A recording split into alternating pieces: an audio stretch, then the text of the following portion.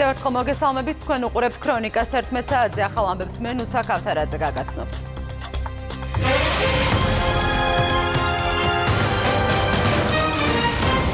აგვისტოს ომიდან 10 წლის თავზე თბილის დღეს მაღალი რანგის დიპლომატები ეწვევიან.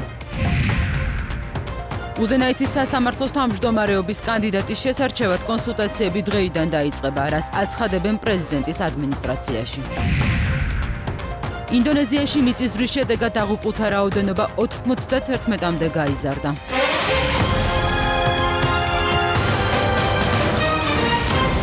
რუსეთ საქართველოს 2008 წლის ომის 10 წლის თავზე თბილის დღეს პოლონეთის, ლიეტუვისა და ლატვიის საგარეო საქმეთა მინისტრები, ასევე უკრაინის ვიცე-პრემიერ-მინისტრი ეწევიან.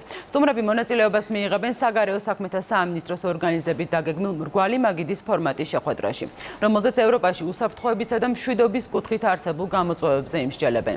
განსაკუთრებული ყურადღება დაეთმობა რეგიონში კონფლიქტების მშვიდობიანი გზით მოგვარებას. სტუმრები დაათვალიერებენ საოკუპაციო ხაზს, პატივს მიაგებენ საქართველოს ტერიტორიული მთლიანობისთვის ბრძოლაში დაღუპულთა ხსოვნას.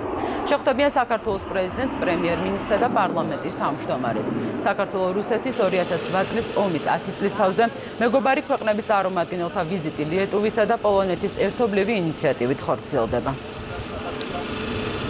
ჩვენს ქვეყანას ესტუმრებიან ჩვენი პარტნიორი მეგობარი ქვეყნების მაღალი რანგის წარმომადგენლები, რომლებიც ჩვენთან ერთად მიიღებენ მონაწილეობას მთელ რიგ აღონიზებებში.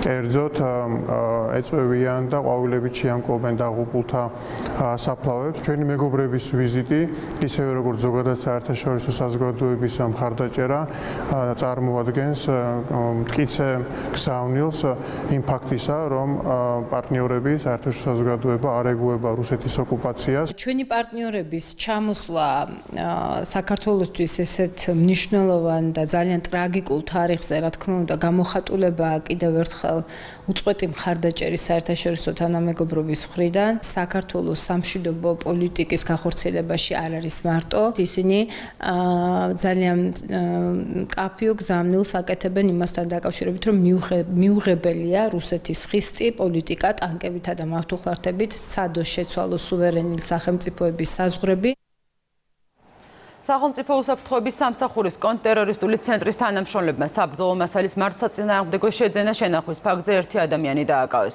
დაკავება სუსის კონტრტერორისტულ ცენტრში მიმდინარე გამოძიების ფარგლებში განხორციელდა, რომელიც საქართველოს მოქალაქის მალხასტის მიმართ ტერორისტულ ორგანიზაციაში გაერთიანებისა და ტერორისტულ საქმიანობაში დახმარების ფაქტზე მიმდინარეობს. მალხასტის საცხოვრებელი სახლისა და სამსახურის ჩხერკისას ამოღებულია ელექტრონული ინფორმაციის მატარებელი მოწყობილობები, ასევე ისლამური სახელმწიფოს სიმბოლიკიანი დროშები და სხვადასხვა ატრიბუტიკა. დამატებითი მტკიცებულებების მოსაპოვებლად საგამოძიებო მოქმედებები გრძელდება. პრეზიდენტის სასახლეში უზენაისის სასამართლოს თავმჯდომარეობის კანდიდატის შესარჩევად კონსულტაციები დღეიდან დაიწყება. აკადემიური წრეების წარმომადგენლებს 12 საათზე პრეზიდენტის მრჩევლები შეხვდებიან. ადმინისტრაციაში ამბობენ, რომ კანდიდატს არა პრეზიდენტი, არამედ ფართო საზოგადოებაში არჩევს. პროცესში სამართლის სფეროს წამყვანი სპეციალისტები ჩაერთვებიან.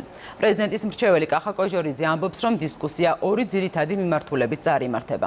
მხარეები განიხილავენ, როგორ უნდა შეირჩეს კანდიდატი და რა კრიტერიუმებს უნდა აკმაყოფილებდეს უზენაისის სასამართლოს თავმჯდომარე მდგომარეობის მსურველი. უზენაისის სასამართლოს თავმჯდომარე თანამდებობიდან 2 აგვისტოს გადადგა. გადაწყვეტილების მიზეზად ნინო გვენეტაძემ ჯანმრთელობის მდგომარეობა დაასახელა. დისკუსიის მთავარი მიმართულება იქნება ორი ძირითადი მიმართულება. პირველი ეს გახლავთ რა პროცესით უნდა მოხდეს კანდიდატის შერჩევა და დასახელება და მეორე რა კრიტერიუმები უნდა არსებობდეს. ცხადია, ალბათ მოვისმენთ კონკრეტულ გვარსახელებთან, გვარსახელებსაც კანდიდატთან დაკავშირებით, თუმცა ჩვენთვის თავარი მიზანი ამ პირველ საწყის ეტაპზე არის პროცესის და კრიტერიუმების სწორად განსაზღვრა. თელ ამ პროცესში ჩვენ ვაპირებთ გავითვალისწინოთ საუკეთესო დასავლური გამოცდილება თუმცა ამოსავალი მაინც იქნება ის სპეციფიკურად მძიმე რეალობა, რაშიც ქართული მართლმსაჯულების სისტემა იმყოფება. ჩამული იქნებიან სამართლის სფეროს სხვადასხვა წამყვანი სპეციალისტები და იდეა არის, თავი იდეა არის ის, რომ რაც უფრო ფართო კონსენსუსი საფუძველზე მოხდეს ამ თავმჯდომარის კანდიდატის არჩევა, ეს პროცესი რაც უფრო რაც უფრო ლეგიტიმური იყოს ამ ასე ვთქვათ ფართო კონსენსუსის საფუძველზე და რაც შეიძლება ასე ვთქვათ ის პიროვნება წარადგინოს, რომელიც იმ კრიტერიუმებს აკმაყოფილებს, რაც უზენაეს სასამართლოს თავმჯდომარისათვის არის აუცილებელი. მუქარისა და პოლიციელების მიმართ ძალადობის ბრალდებით დაკავებული მუსა ხანგოშვილი ჯანმრთელობის მდგომარეობის გაუმჯობესების შემდეგ რაიონული საავადმყოფოდან ისევ ყვარლის წინასწარი მოთავსების იზოლატორში გადაიყვანეს. ქრონიკის ინფორმაციით აღკვეთის ღონისძიებაზე გურჯაანის რაიონული სასამართლო დღეს იმსჯელებს. დაკავებულის ინტერესებს კი სავარაუდოდ სახაზინო ადვოკატი დაიცავს. ბანკში პოლიციის განყოფილებაში მომხდარ ინციდენტზე რის გამოც ხანგოშვილს სასამართლომ 2000 ლარიანი ჯარიმა დააკისრა, განმარტებებს მისი ოჯახის წევრები აკეთებენ. მათი თქმით ხანგოშვილი პოლიციის განყოფილებაში ძებნილი ძმის შესახებ დეტალების გასარკვევად მივიდა. როგორც ცნობილია, ანზურ გიშკაევს ყოფილმა ხელისუფლებამ წლების წინ ბანკში განვითარებული მოვლენების გამო დაუსწრებლად 26 წლიანი პატიმრობა შეუფარდა. ინფორმაციას, რომ შესაძლოა ჩეჩნეთის პრეზიდენტთან მეგობრობის გამო ხანგოშვილი რამზან კადიროვს ხეობაში სპეციალურად გამოეგზავნა, ოჯახი კატეგორიულად გამორიცხავს. შეგახსენებთ, რომ მუსა ხანგოშვილი გურჯაანში 4 აგვისტოს დააკავეს. მეგობრობს კადიროვთან იქ ცხოვრობს და თავის საქმეს აკეთებს. განყოფილების უფროსთან მივალო და რო შევიდა თემო გასული ყოფილა ერთი 10 წუთი და იქ ერთ-ერთმა მილიციონერმა ამას დაუწყო ისაო შენაო თარგამაძის ის ყოფილხარო და გამოიწვია რა მოვიდა იქ ლაპა დაილაპარაკეს. იმან კიდე იმ წუთში გამოიძახა პოლიცია რუსეთში მოღვაწე ბიზნესმენის მიხეილ ხუბუტიას შვილი ნიკოლოზ ხუბუტია მოსკოვში მდებარე საცხოვრებელ სახლში გარდაცვლილი იპოვეს. არსებული ინფორმაციით 26 წლის ნიკოლოზ ხუბუტიას ჭრილობა თავში აქვს მიყენებული. იქვე ნახეს იარაღიც. როგორც რუსული მედია წერს, სავარაუდოდ მან თავი მოიკლა. თუმცა რაიმე სახის წერილი არ დაუტოვებია. მიხეილ ხუბუტია რუსეთში იარაღის მაღაზიათა ქსელის კოლჩუგას მფლობელია. 1999 წლიდან მოყოლებული ის რუსეთში საქმიანობს და უძრავი ქონების ბიზნესი აქვს. მას ახლო ურთიერთობები აქვს რუსეთის რუსეთის პოლიტიკურ წრეებთან. 2007 წელს მიხეილ ხუბუტია საზოგადოებრივი ორგანიზაციის ქართულთა კავშირის რუსეთში პრეზიდენტად აირჩიეს.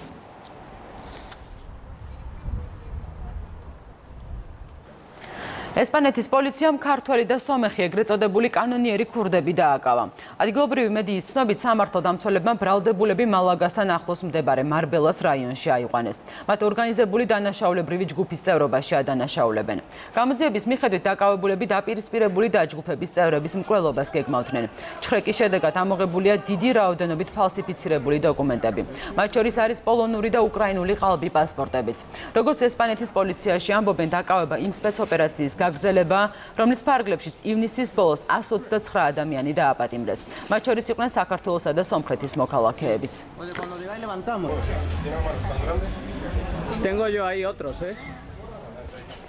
მუხიანის სარაგბო კომპლექსში ჭერი ჩამოინგრა ინციდენტის დროს იქ საფეხბურთო კლუბ შევარდენი 1906-ის წევრები იმყოფებოდნენ. შემთხვევის შედეგად არავინ დაშავებულა. სარაგბო კომპლექსში სამშენებლო სამუშაო კომპანია საბა კონსტრაქშენმა განახორციელა. როგორც მერიაში ამბობენ, კომპანია აღდგენის სამუშაოს სრულად დააფინანსებს, ხოლო მერიის წარმომადგენლები მომხდარის მიზეზებს დეტალურად შეისწავლიან. შეგახსენებთ, რომ სარაგბო კომპლექსის მშენებლობა 2017 წელს დავით ნარმანიას მერობის პერიოდში დასრულდა. მოქმედმა მერმა კახაკალაძემ კომპლექსის დათვალიერება ნებისმიერების შემდეგ სამშენებლო კომპანიის მუშაობა ჯერ კიდევ მიმდინარე წლის იანვარში გააკრიტიკა და მათ ხარვეზების გამოსწორებაც დაავალა. სამწუხაროდ ოთახი არის, სადაც ასევე ჩვენი ინვენტარი ინახება და მეც ვიყავი უბრალოდ გამოვასწარი სულ რაღაც 5 წამით, როდესაც ძალიან სერიოზული ხმაურის ხმა გავიგე და მწორთნელებიც ფაქტიურად აი რა ვიცი, აი ამ ჭერის ცვენის დროს გამორბოდნენ gare. დაზარალებით არავინ არ დაზარალებულა და მადლობა ღმერთს რომ ყველანაირი დაშავების გარეშე ჩაიარა ამ ინციდენტმა. როგორც გახსოვთ, თბილისის მერმა არაერთხელ გააკრიტიკა მწვავით აქ სამუშაოების ხარისხი.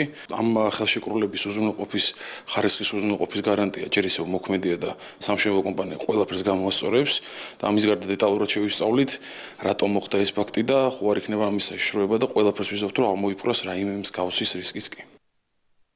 სრულიად საქართველოს მუფთი ბათუმში მეჩეთის მშენებლობასთან დაკავშირებით საინიციატივო ჯგუფთან რაიმე სახის დაპირისპირებას უარყოფს. ბეგლარ ქამაშიძე აცხადებს, რომ ხელისუფლებასთან ერთად ყველაფერს გააკეთებს, რათა მრევლს თავისუფლად ლოცვის საშუალება ჰქონდეს. მისი თქმით, საკითხზე პრემიერ-მინისტრთან შეხვედრაც იგეგმება.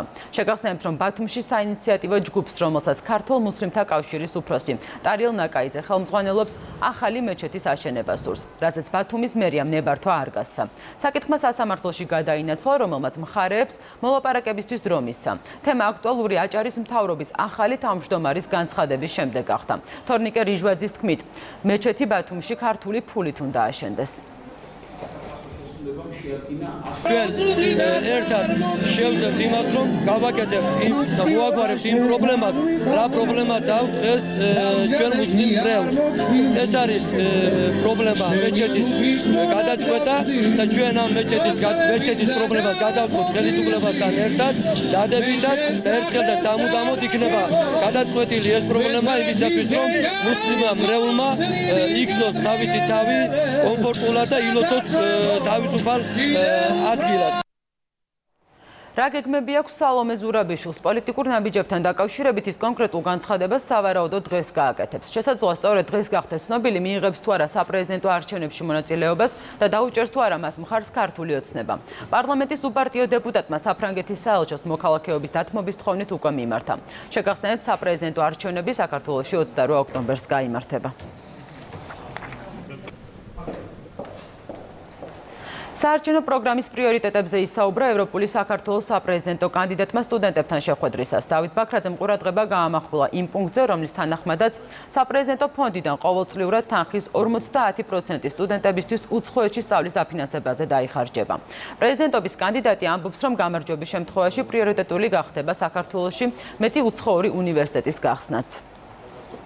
ნაწილი მაინც ახალგაზრდებთან შეხვედრა საპრეზიდენტო ფონდის მინიმუმ 50% ყოველწლიურად დაიხარჯება ახალგაზრდების განათლების დასაფინანსებლად. ამ მიზნით ყველა უცხოური ვიზიტის დროს სავალდებულო ნაწილი პროგრამის იქნება უცხოურ უნივერსიტეტებში მისვლა და იქ რექტორებთან მოთხოვნა, შეხვედრა და მოთხოვნა, რომ მეტი ქართველი ახალგაზრდა მიიღონ და მეტმა ქართველმა შეძლოს უცხოეთში განათლების მიღება. გადაწყდა საპრეზიდენტო პრეზიდენტმა შექმნას ფონდი სტუდენტებისთვის, რომელიც დააფინანსებს უცხოეთში სტუდენტების სწავლას, რაც საქართველოს ძალიან კარგია, რადგან ბევრს არ აქვს იმის შესაძლებლობა და იმის ფინანსები არათუ უცხოეთში, არამედ საქართველოსში სწავლ უცხოეთის მნიშვნელოვანი სიახლეებით განვაგრძობთ გამოშვებას ინდონეზიაში მიწის დროს 91 ადამიანი ემსხვერპლა. 7 მაგნიტუდის მიწისქვეშა ბიძგებმა კუნძულ ლომბოკზე გრევა გამოიწვია. დაზიანდა ელექტროგადამცემი ხაზები, რის გამოც ელექტროენერგიის მიწოდება მეზობად მდებარე ბალიზეც კი შეფერხდა. მიწის დრის შემდეგ ხელისუფლებამ მოსახლეობას ცუნამის საშიშროების შესახებ გააფრთხილა, თუმცა მოგვიანებით განგაში მოიხსნა. 20 ადამიანი ემსხვერპლა ავიაკატასტროფას შვეიცარიის ალპებში. იქ მეორე მსოფლიო ომის დროინდელი თვითმფრინავი ჩამოვარდა. საფრენი აპარატი მთიან რეგიონში დაეცა. ადგილობრივი მედიის ცნობით თვითმფრინავში ყველა ადგილი დაკავებული იყო. Junker JU-42-ის ბორტს 17 მგზავრისა და ეკიპაჟის 3 წევრის გადაყვანა შეუძლია. ტრაგედიის მიზეზი ჯერჯერობით უცნობია. მანამდე შვეიცარიაში კატასტროფა ერთდროულად ორმად ბერტფრენმა განიცადა. კატასტროფა განიცადა მცირე ზომის თვითმფრინავმა კალიფორნიაში. საფრენი აპარატი ქალაქ სანტა-ანაში სავაჭრო ცენტრის ავტოსადგომზე დაეცა. შედეგად 5 ადამიანი დაიღუპა და ერთი მანქანა დაზიანდა. რამ გამოიწვია სესნა 414-ის ვარდნა ჯერჯერობით უცნობია. მომხდარის მიზეზ შტატების საავიაციო ტრანსპორტის უსაფრთხოების ნაციონალური საბჭო იძიებს.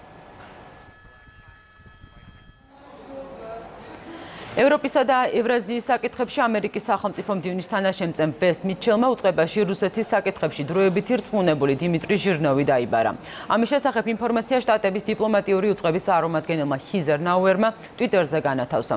მისი თქმით, სახელმწიფო დეპარტამენტში ჟირნოვის დაბარების მიზეზი კრემლის მიერ სოციალური მედიის შტატების საწინააღმდეგოდ გამოყენების მცდელობაა. კერძოდ, როგორც ნაუერი წერს მოსკოვის სოციალური მედიის ანგარიშებით, შტატებში ძალადობისა და საზოგადოების გახლეჩის კამპანიას ეწევა. ამასთან დაკავშირებით კი ჟირნოვმა კითხვებს უნდა უპასუხოს. ვენესუელის პრეზიდენტზე თავდასხმის საქმეზე 6 ეჭმიტანილი დააკავეს. ქვეყნის შინაგან საქმეთა ministris განცხადებით აკავებულთაგან ერთ-ერთი 2017 წელს სამხედრო ბაზაზე თავდასხმაშიც აეჭმიტანილი. მასზე დაკავების ორდერი იყო გაცემული. კიდევ ერთი ეჭმიტანილი კი 2014 წელს ანტისამთავრობო გამოსვლების დროს იყო ნასამართლევი. აფეთქება კარაკაში ნაციონალური გვარდიის საიუბილეო ღონისძიებაზე ნიკოლას მადუროს სიტყვით გამოსვლის დროს მოხდა. იაპონია 1945 წლის 6 აგვისტოს დაღუპულებს იხსენებს დღეს. ჰიროსიმაში ატომური ბომბის ჩამოგდებიდან 73 წელი გავიდა. ხსოვნის ცერემონია ქალაქის მთავარ პარკში გაიმართა. 1945 წლის 6 აგვისტოს ქალაქ ჰიროსიმაში ატომური ბომბი ჩამოაგდეს. აფეთქების შედეგად დაიღუპა 140.000 ადამიანი, რომელთა უმეტესობას მშვიდობიანი მოსახლეობა შეადგენდა. 6 აგვისტოს მთელი მსოფლიო ატომური იარაღის აკრძალვის საერთაშორისო დღეს აღნიშნავს. Above the target. სოციალურმა ქსელმა Facebook-მა გაცნობის აპლიკაციის გამოცდა დაიწყო. პროგრამა სატესტო რეჟიმშია და მისი გამოყენება მხოლოდ სოციალური ქსელის თანამშრომლებს შეუძლიათ. ეს სპეციალურად გაკეთდა, რათა კომპანიამ აპლიკაციის ხარვეზები გამოავლინოს და მომხმარებელ სრულყოფილი ვერსია შესთავაზოს. გაცნობის აპლიკაციის გამოყენება Facebook-ის მომხმარებლებს რეგისტრაციის გავლის გარეშე მარტივი სინქრონიზაციით შეეძლებათ. ასევე შესაძლებელია გაცნობის სერვისის გამოყენებისთვის ახალი პროფილის შექმნაც. Facebook is now testing its Facebook dating feature internally. ამერიკელმა სკოლის პედაგოგმა ნიჩბიანი ნავით მსოფლიო რეკორდი მოხსნა. ბრიუს კარლსონმა ატლანტის ოკეანე ამერიკის კონტინენტიდან ევროპამდე 38 დღეში 6 საათსა და 59 წუთში გადაცურა. ამასთან ის პირველი ამერიკელიც გახდა, რომელმაც ეს მარშრუტი მარტო წარმატებით დაფარა. მანძილი ორ კონტინენტ შორის 4000 კილომეტრს აღემატება. მოგზაურობის დროს კარლსონს რამდენიმე შტორმის გადატანაც მოუხდა. kanadischen St. John's. Für den Rekord musste sich der 37-jährige quälen. კლავ საქართველო ბათუმში ფოლკლორის დღეები გრძელდება. ამბანის კოშკის მიმდებარე ტერიტორია ამჯერად ანსამბლ ბასიანს დაეთმო. მაყურებლის წინაშე წარდგენ ქორეოგრაფიული ჯგუფები ფესვები და ბეთლემი. ჩეკინ ჯორჯიას ფარგლებში კონცერტები ბათუმში ყოველ დღე 22 აგვისტომდე გაგრძელდება.